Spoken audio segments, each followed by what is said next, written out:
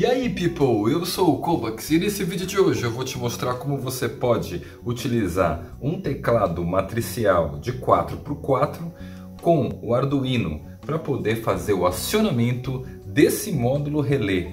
Aqui você pode ver que eu programei o Arduino para que quando eu digitar a senha 1, 2, 3, 4, então o módulo relé vai acionar a trava elétrica por meio segundo.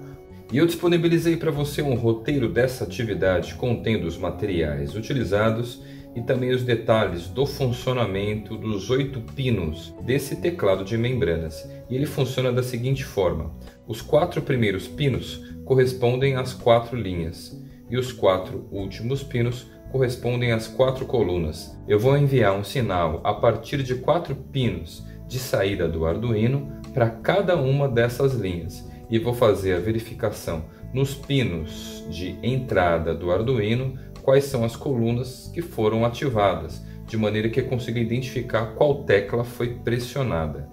Então aqui você pode ver como eu fiz a ligação no Arduino Uno utilizando as portas de 2 até 9. Você pode perceber que eu não usei resistores em uma protoboard porque eu utilizei os resistores pull-up do próprio Arduino. Então isso facilita as minhas ligações. E primeiramente, para você poder fazer um teste na placa de Arduino, para verificar se cada uma das teclas está funcionando, eu disponibilizei para você esse sketch, de maneira que ele vai fazer uma varredura das linhas, depois ele vai varrer as colunas e vai imprimir na porta serial qual tecla foi apertada.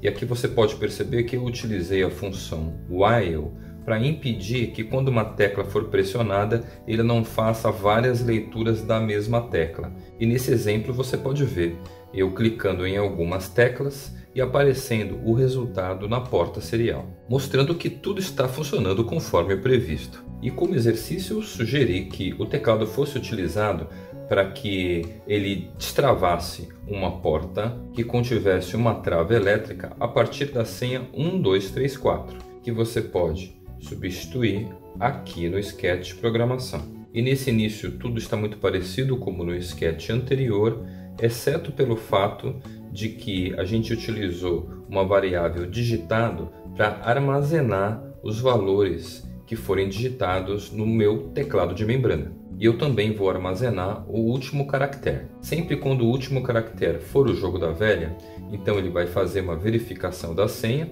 Se ela estiver correta, o relé vai ser acionado e caso contrário, ele vai emitir na porta serial que a senha está incorreta. E aí as duas variáveis vão passar a ficar vazias de novo e o loop se repete. Como desafio, eu sugeri que ao pressionar o botão asterisco, essa senha possa ser trocada diretamente pelo teclado, sem que você precise refazer o sketch e aqui no final você encontra referências para um aprofundamento de estudos. E se você, assim como eu, tem um pouco de preguiça de ter que ficar toda hora digitando a senha para poder entrar em um lugar, então eu criei para você um vídeo que explica como utilizar o RFID para poder acionar o Arduino utilizando um cartão. Então dá uma olhadinha nesse vídeo e se quiser saber outros conteúdos a respeito de programação e Arduino, dá uma olhadinha nessa playlist e a gente se vê nos próximos vídeos. Bye bye!